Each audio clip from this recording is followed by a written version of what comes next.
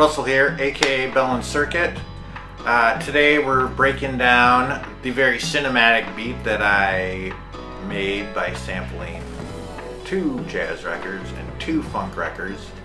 As always, the beat will be on my SoundCloud account and the link will be in the description. This was a really fun one. I did some sample chops of piano. I sampled a bass line and then was able to play it in on my keyboard and generally got some good slow jams. And drum breaks from one of the premier jazz drummers of all time. And came up with one of my favorite beats that I've done so far this year. So come along, let's get into it.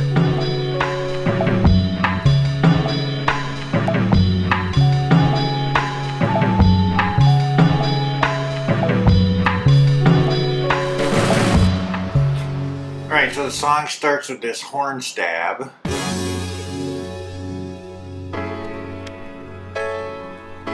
It goes into this three bar piano passage that I'm kind of just letting run here. And then the first break comes in.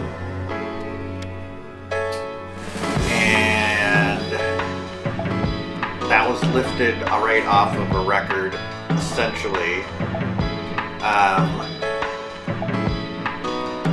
I did have to put the drums in mono using the utility plugin here because if you look at the waveform, one channel was way louder than the other. Um, and I think that's just a artifact of old recording methods when stuff is all recorded live in a room. The drums were probably just mixed that far on the, that side, and so when even when only just the drums were playing, the whole uh, mix was weighted then towards that side, just because that's that's how they did it back in the day. You'll notice also there's a bunch of these little samples. Those came from that super long drum solo that was like minutes, many minutes long. Um, and basically I'm just taking little snippets of that and using it to for fills and accents and whatnot. So stuff like this. Um, or this. So basically it's just the same thing. I'm just using a little bit different parts of it, some longer than others. Um,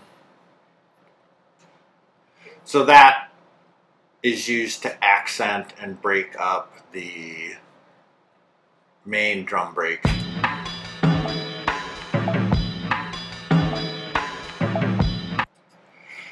So after that sort of intro with the piano, the entire piano sample, we get to this section where I have sampled bass and uh, chopped piano. This is the bass. Um,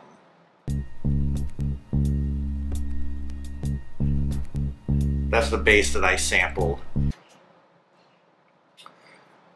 So then Threw that in a simpler and played a really simple bass line.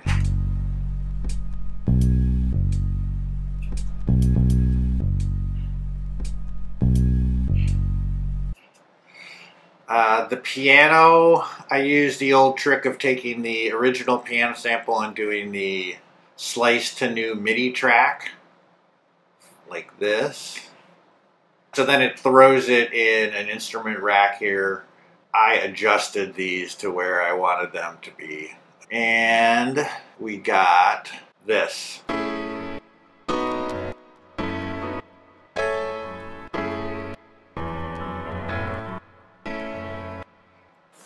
Those are then all played on the pads on my Akai controller.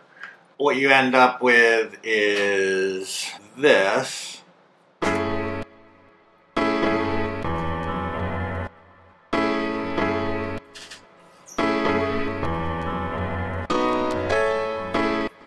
Together and we get this section.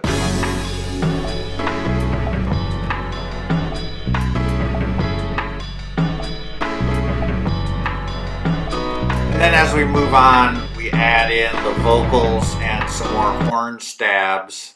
Uh, the stabs are alternating between two different ones, which is kind of a fade, a, a stab and hold, and then there's that one, which has like some weird aliasing and artifacts just because I kind of stretched it a lot. But it sounds cool and you don't really notice it when everything else is in there. Um, the vocal sample is just uh, a dude counting stuff off in uh, maybe another language. I don't know, or maybe he's just slurring because he's drunk. It's hard to tell. That whole section is that. So the played sampled bass chopped piano, the vocals, the alternating horn fades, and the break. The next section uh, has the same break. It's a way to build into the next section because the break is quite different. So, for example, that's the break in the, the second main section here. But it was really jarring going right from this so I had to figure out a way to sort of ease into that transition and build. First of all, there is a little stop, and then we introduce this new bass and keys figure.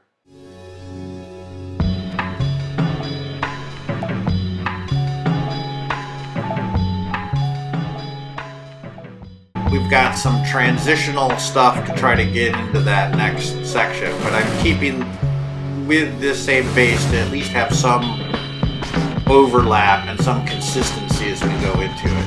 I'm starting to introduce this uh, sample here, which is um, very percussive, but it originally started out as a horn accent and drums and they pitched it down a lot. 15 semitones. We also have this timpani. So very sort of cinematic. It's pitched down a little bit and there are some artifacts on it, but again, I didn't care. Um, it all works. We introduced timpani and the new bass line sample, which is very sort of subtle and understated with these weird clav kind of things behind it.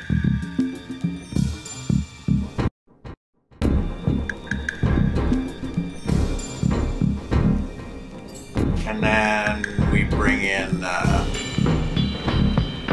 break. Then we get to the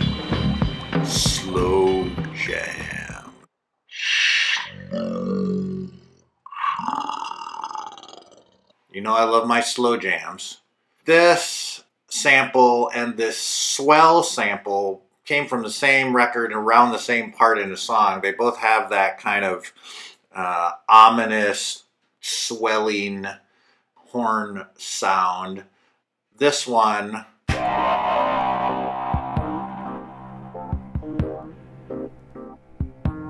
has some funky electric piano and then we get into this in the second half of it we get into some trumpet this loop is nine bars long as contrasted with the swell loop, which is four bars long.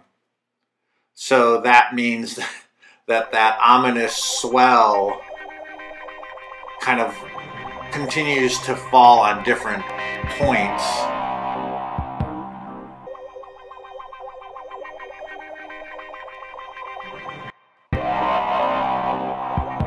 There's the slow jam swell, And then the swell sample.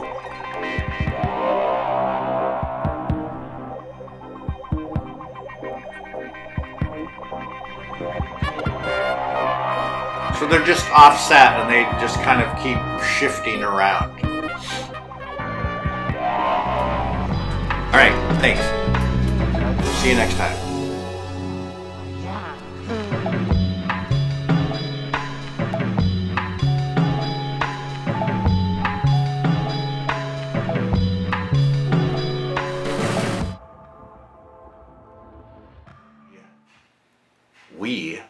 Am I saying we?